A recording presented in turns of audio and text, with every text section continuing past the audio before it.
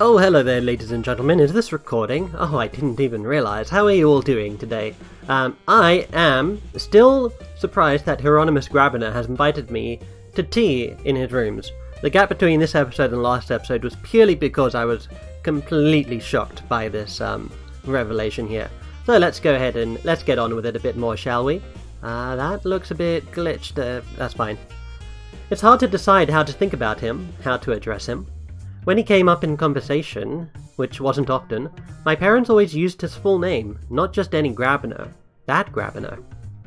Using his first name at all would be too familiar here. I'm not sure most students would even know what it is. But Professor Grabiner feels wrong to me as well. That isn't his whole identity, and it's certainly not why I'm visiting him now. Grabiner's rooms are just that, a set of old rooms a set of rooms in Old English style, or at least more Old English than the rest of Iris Academy. Four poster bed, bookshelves, and other furniture in dark wood. He's had more than enough years to... Whoops, that fell off my table. He's had more than enough years to adapt this place to his own design. I wasn't sure if he was serious about the tea, but he has a tray set out with a silver teapot, scones, and thick pastry cubes that must be a miniature beef Wellingtons. At home, any gathering would begin and end with coffee, but my family training has concluded at least some familiarity with the British afternoon tea. Has included, sorry. I'm a little bit out, out of practice, okay? It's been about a month since I did the last recording. Unsurprisingly, he is buried in a book when I make my entrance. Ah, there you are. I have the feeling he isn't sure how to address me either. None of us want to get into the habit of using names that would be hard to explain. So, how are your studies progressing? Shouldn't he have a good sense of that already, as a professor? But I suppose he needs my viewpoint. Uh, yeah, it's going great. Everything's going great so far. Hmm. He sips his tea. Well, this week you have experienced the hallowed Iris Academy tradition of freshman initiation. What did you think of it? Um, I think it was a lot of fun. I think we had a pretty good time overall. Lots of silly things happened, which makes memories. And no one's going to object to the partying gifts. So, you consider this to be a worthwhile practice? Sure, why not? Perhaps you should say as much to your parents when you next contact them. I thought you were contacting them. Do you think they would entrust their only son's welfare entirely to me, without verification? Use whatever channels seem appropriate.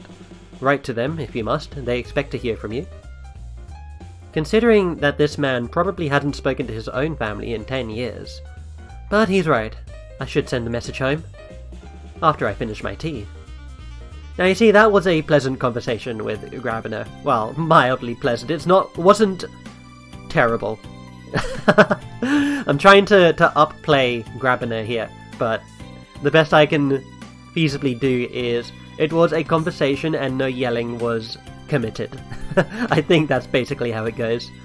At the end of the week, yada yada. Okay, so I have some notes here because this is. I got a notebook uh, document open here that says Guide to Lost Episodes. And if you recall in my previous uh, episode, I had. Uh, I mentioned that I lost a few recordings because of some weird thing that happened to my recording that basically froze the screen. Uh, I believe it froze the screen on exactly this screen here. So I'm just checking my, my recording software here. My recording preview is saying that it's still working. But let's take a quick look what happened. Um, thinking outside the socks. Uh, oh, Barbara came by, that's right. Poetry. Uh, Luke tried to recite a poem. Okay, cool. Uh, and I believe I also remember which path I am on. Cool. Uh, as another quick disclaimer, I've already done this entire path. I'm just replacing these current episodes before I continue recording the next part. On Monday morning, I hear something outside my door. I thought it was a knock at first, but there was only a single thump. Most people rap at least twice, don't they? Maybe it's just Luke and Donald horsing around. Just in case, I get dressed and go to see whether someone is out there. The least I deserve after the way you treated me. The way I did? I don't oh he sees me and cut himself off. This isn't the time. And if you just agree No. Now please leave. You have no reason to be in this hall. Hmm. Sorry, old history. By the way, I believe these are yours? He hands me back a pair of my socks, and I toss them over my shoulder in my room. I'm not even going to ask. I'm here to let you know that club sign-ups take place this week on Wednesday after afternoon, in the, in the gym. You don't need to schedule a special day of gym workouts, the sign-ups will be after class. What sort of clubs? Oh, anything. Some groups are traditional and held every year, like the drama club and the choir. Chorale, technically. He says the last word's chorale, but I'm not sure what it means. Is that chorale? Choral. Chorale. Okay, I think that's what they're trying to differentiate here. What's the difference between a choir and a chorale? I think a choir only sings religious music. I'm not sure. I'm not very musical. Or very religious. But students can also create their own clubs around any hobby or any interest they like. Even a do-nothing club. If you can register enough members, you get official school recognition and the right to access extra equipment. I know V's planning on doing something with sports. You could make your own fancy, uh, fan club to talk about your life back home. Definitely not. Attracting that kind of attention would make it impossible to keep my secret, which rules out the drama club as well. Think about it and let me know if you need any help with the sign-ups or form posters. I think I'd rather just see what clubs other people are running. I'm here to experience the local culture after all. Right, well, I gotta get going. He disappears before I can ask if everything's alright with him. Well, what class should I take this week? Uh, let's see. Um, so, in my Guide to Lost episode, I am focusing on, uh, green and black magic, apparently. Let's see, at freshman initi initiation, we've done that already. After freshman week. Uh, okay.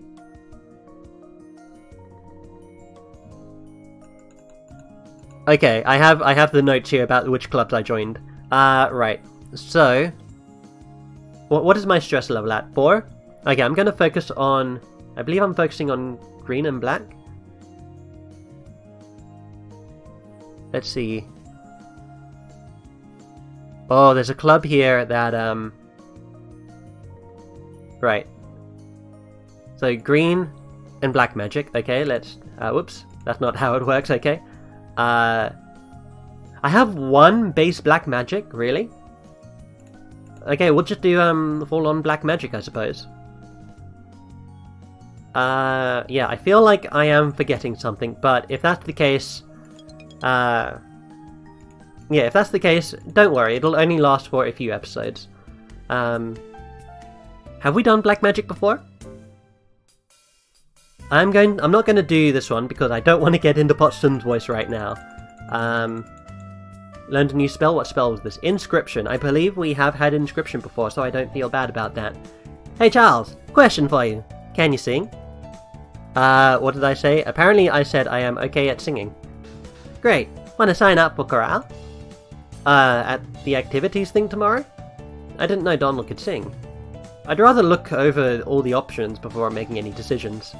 Yeah, that's fair. Luke can carry a tune, so Logan can't either. But his roommates and I are planning a demonstration. Does that mean you've already joined, uh, ahead of the sign-ups? Well, no, but... I knew the chorale existed, you know? I heard about the concepts from my brother, so I already planned to join. I guess he really likes music. Well, Good luck with your presentation. he waves and goes on his way. Alright, Black Magic class success. Save the dragons! Ah, I forgot what her name... Susie? I believe her name is Susie. I think that is correct. Um, adorable. Absolutely adorable. Oh, my mouse disconnected. Hold on. Okay, it's back now. If you heard that window sound, that is my mouse connecting and disconnecting. I need to get a new mouse, but I need I need a lot of things to be honest. mouse is one of the least of my concerns. Uh, some have nothing more than a title and a clipboard for prospective members to sign their names to. Others have decorative banners or even people in costumes waving for attention. A girl from Snake Hall holds up a poster with Save the Dragons drawn in marker. I didn't think the dragons were endangered in the States, and didn't they mostly live in California anyway? I love this part. This is, uh, this is, uh, I want to say this is a, an organic way of uh, saying that um, dragons exist here. Her hallmate, Raven, is standing in the line for the drama club. No surprise there.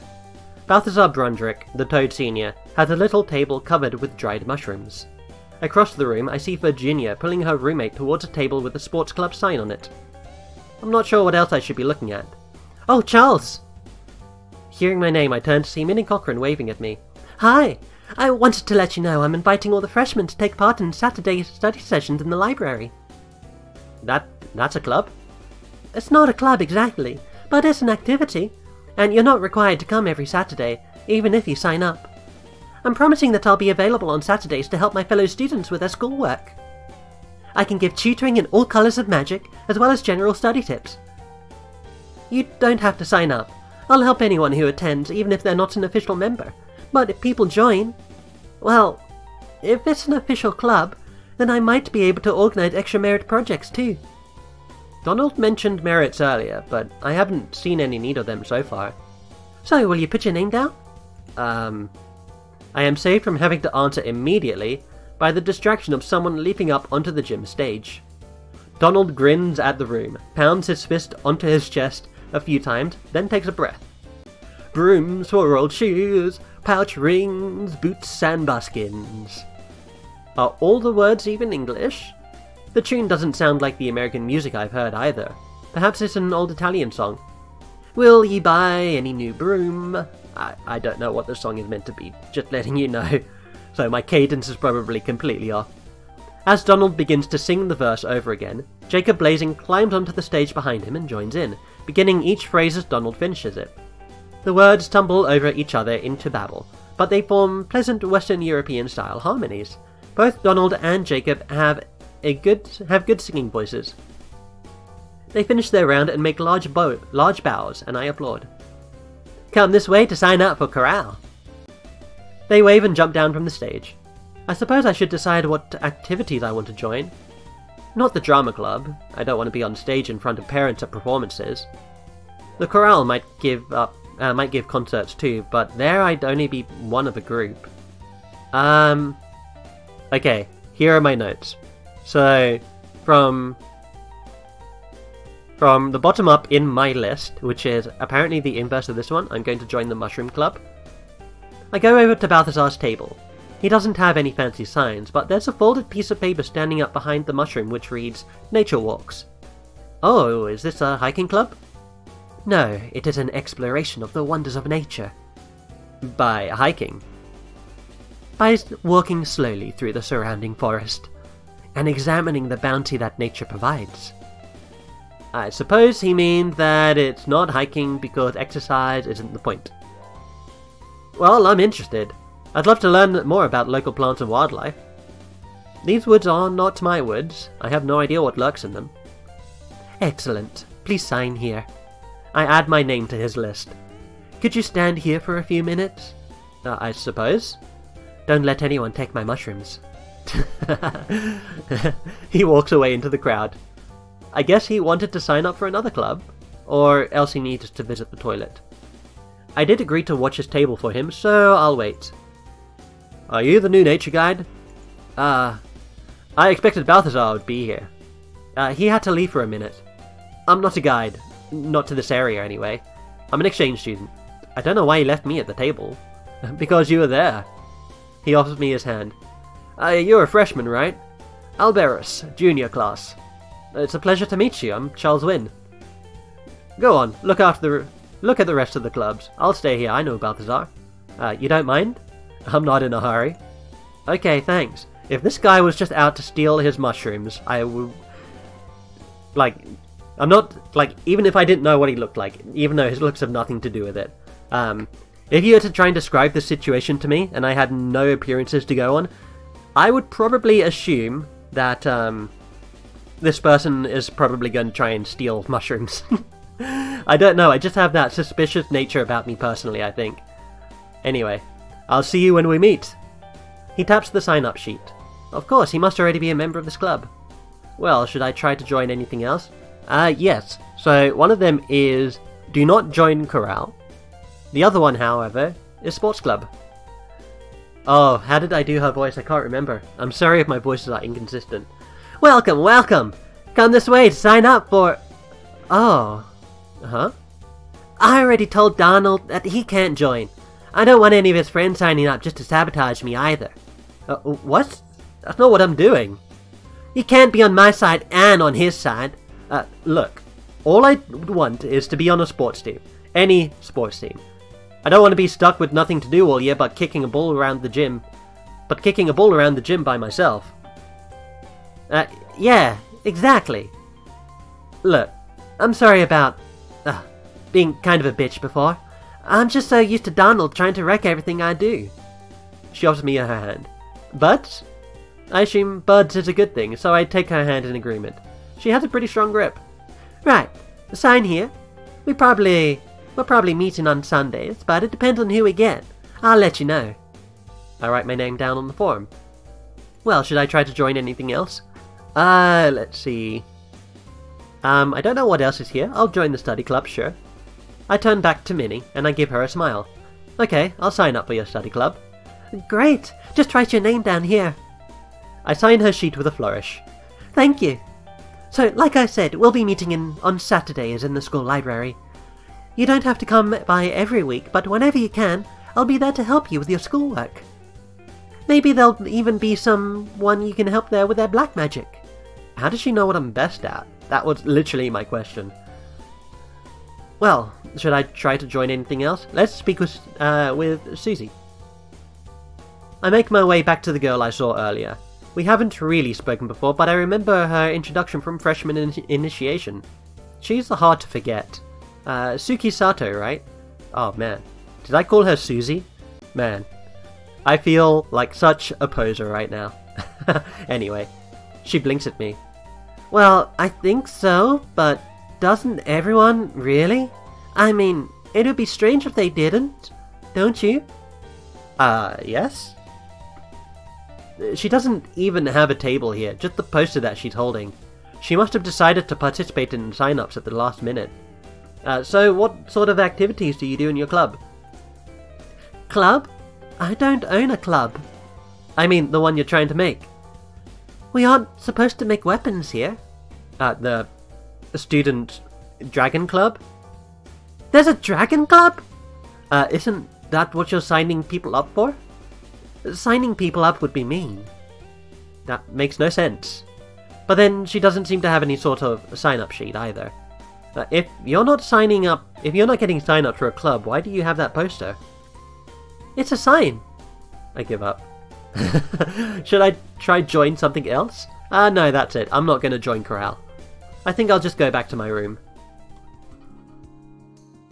Alright. Black Magic Law success. And another success. Hey, Charles. I turned to see Virginia. We got the word this morning. Sports club is a go is go.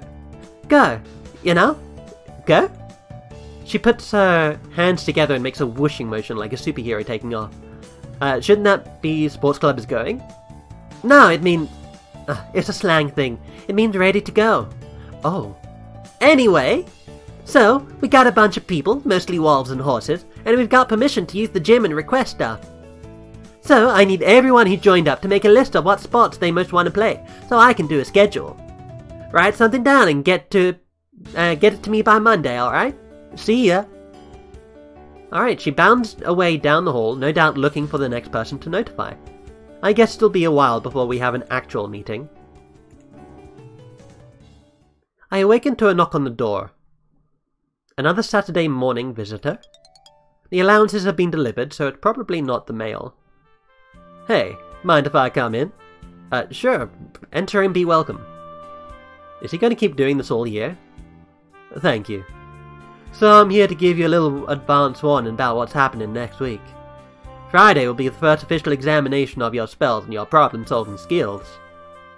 I can't tell you exactly what to expect, but the gist of it is that you'll be placed in a dungeon and have to find your way out. There will be some kind of obstacle, and you'll have to work out what spells to use to get past it so you can escape. If you succeed, you gain merits, if you can't make it out, you lose them. And if you get yourself hurt doing something real stupid, You'll probably get detention, so try to avoid that. Sometimes the professors award bonus merits for clever or unusual solutions, but don't count on it. Safer is smarter. You haven't been down to the dungeons yet, have you? Uh, no. Well, we'd better fix that. You don't want to be looking at the setup for the first time with merits on the line, do you? Uh, I guess not. Come on, I'll show you the way. We head out onto the grounds together. Now, you never know exactly what you'll find when you go down below. Levels get rearranged all the time. He points to what looks like a pair of wooden doors set at an angle, a cellar entrance. That's the main way in. The freshman section is automatically open. Don't try to open any other doors off the main corridor. They should be sealed, but just in case, don't. I am curious what sort of challenges the upperclassmen face, but this does not sound like a good time to find out. What you want to do is walk around a little, get a feeling for what the dungeon looked like and how to how to target your spells. Try a few different castings and see how your energy holds up. That will help you plan your classes for next week. You might want to pick up more spells, or you might want to build up your health and your mana. Remember, there's plenty of ways to solve every problem. Play to your strengths. You sound like Professor. Yeah, well, uh-huh. I'm sure you'll do fine, right? Don't let me down. He claps me on the shoulder. Oh, I had I had a crazy thought. What if William, like, not William as a whole, but William, this William that we're seeing right here in front of us, is actually an illusion made by Professor Grabiner. what if? What if? That would be crazy. I don't know what uh, plot-related purpose that would have. Maybe to show that Grabiner has a softer side for you and he's looking out for you, even though he's a um, he's an old haggard. Anyway, and I'm sure many of you have just heard the word haggard for the first time. Go on, have a look around. I'll see you later. With that, he leaves. Cool. Okay, so we are in the dungeon. The underground space is quiet and cool. I only see one door up ahead, so that must be the way. it's her! As I'm thinking that, Barbara makes her way up the dungeon staircase. She smiles at me, but doesn't say anything. Uh, hi. She wiggles her fingers at me in a little wave. Uh, so, you've been in the dungeons? Uh, right, I guess that's a stupid question. Um, what's it like down there? She pauses. Empty mostly. She hurries past me in a way before I can react to her speaking. Well, I guess I'd better go in. As I step onto the staircase, my ears begin to tingle. Suddenly, inside my head, I hear a familiar voice. Welcome, freshman.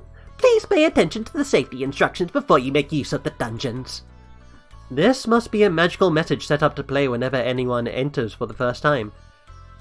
There are no hostile creatures in your practice area, only a harmless plant that you can use for target practice. Don't feel bad about smashing it, I have many seedlings. However, it is possible for you to injure yourself by casting spells unwisely. I should drop, stop dropping things. Please consider the consequences and be careful. The message doesn't include what the consequences are. Also, there are no hidden treasures in the practice area. Experience is its own reward. So whenever you've experienced enough, you can walk back up the stairs and exit. Have fun! The message fades away. You can move around. Okay, we know how to do this. Um, cool. Uh, I, I say that, right? But, um, oh, it's the arrow keys? Yes, okay, it's the arrow keys, not WASD, I forgot. Okay. Um, yeah, apparently my microphone is picking up uh, the noise of my mechanical keyboard here. Um, oh, I'm in total darkness. I can cast light here. Um, I know what it... Oh, that thing creeped me out the first time I remember. Okay, let's see what's on the floor here. As far as your eye can tell, it's a perfectly ordinary stone floor. Horus was here. So apparently these messages, uh, some of them at least, were left here by beta testers of the game, I believe. Alright, let's see. We have, um, inscribed track sent. Uh, most recent creature to pass here was Charles Wynn. Oh, who was Charles Wynn, I wonder? Let's inscribe the training dummy. Let's go, um, let's go uh, P. I don't know what I'm doing. P S T U. P S T U. I, I think that stands for something. I hope it's not offensive. P S T U. Uh, nope, let's not do that one. Peace done. Motor. I'm literally just writing anything that comes to my head. the training dummy won't hold still long enough. The plant waves its branches. Cool. Alright, whatever. So we're going to head back out here. We don't really have too much more on our on our bar to use that we don't already know of. Afternoon, Saturday 21st. On Saturday afternoon, the Nature Club gathers in the woods of Iris Academy. Balthazar he isn't here yet, but I do see... Hello! Bonjour! Hi! An unusual looking student, even for Toad Hall. You're the one from Latvia, right? I'm Nara. What do you know about critters? Uh, critters? Fearsome critters and fabulous beasts. I had a kettler as a pet once. Well, sort of a pet. He lived in the woods and he was very shy, but we used to whistle at each other at night. What about you? Have you ever seen a Wolpertinger? A what? It's got a furry head and a bunny. Uh, it's got a furry head like a bunny with big teeth, antlers like a deer, tiny wings, and legs like a chicken. Uh, do you mean the the El the Elwoodriston? The Elwoodriston? That's not quite what they look like. You have one? Can you bring it? Uh, no, I... But I want to see it! It's not that simple. Nara, don't eat the new boy. Don't mind him. He's always like that. The toad folds her arms, pouting. Nara's usually disappointed that we don't find any critters while we're walking. Everyone makes too much noise. You scare them away. So why doesn't he go out on her own then? Ah, I see Balthazar approaching. Today we'll be hunting for black trumpets, also called the Horn of Plenty, or the Trumpets of the Dead. That's a kind of edible mushroom. They're not common where I come from, but I've heard of them. It is late in the season, and they are dark and hard to see, so move slowly and keep your eyes on the ground. Do we need baskets to carry them? We are not picking mushrooms, we are looking at them. There may also be turkey tails or other growths on tree trunks. They can blend in, so look closely. Alright, so which way are we going? We are looking here first. Sun sets at 7. We should be able to walk a little way before then. Apparently this is going to be a very slow walk. In any case, it is nice to be outdoors and hear the sound of the world. Cool. At night, I dream of home. I dream of grapevines clinging low to the steep slopes and mountains rising from the sea. I dream the scent of the Aleppo pine, warm and bitter and woody, and the cones rolling at my feet. I dream the footsteps of the lost wolves padding through fields, past hay drying in the Kozolci, up and up into a village, disappearing into smoke at an arched front door. I hear the purring song of the dove, like a messenger outside my window. A messenger. In the morning when I wake, the dream still lingers in my mind. I cast a quick spirit sense spell, but there's no sign of anything hanging around. The messenger, if there was one, is gone. The message, however... From one of the drawers beneath the bookshelf, I withdraw a box of copper filigree, a deceptively strong container of metal lacework. I set the box on my desk and open it. There is nothing inside. I press my fingertip up against the interior surface and trace out a spiral pattern, then close the box. There's a faint pulse of magic.